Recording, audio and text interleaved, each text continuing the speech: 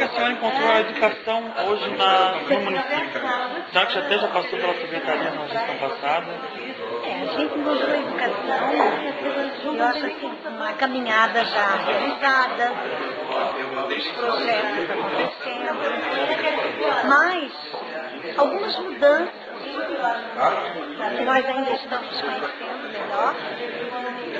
E na verdade não houve transição. Então, de segunda até hoje, nós estamos fazendo a transição que não houve.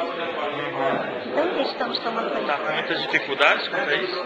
Não, Não? não, porque a equipe que lá está, nesse momento, está sendo parceira.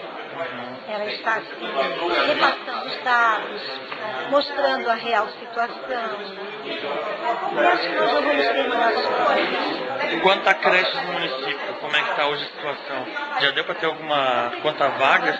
Se o município está comportando, precisa de mais vagas? É, creche, o município nunca tem que chegar, né? Sempre há uma demanda maior do que a real é, situação.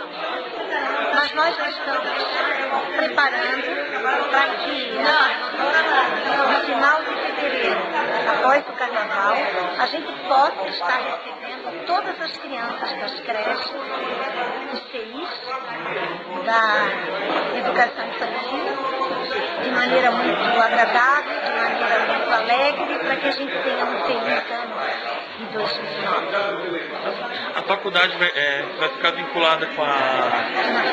A faculdade ela não tem vínculo com a Secretaria de Educação. Ela Mas essa nova reforma, ela não vai estar vinculada Não, ela vai ficar na Fundação Educacional. separada, então? Separada.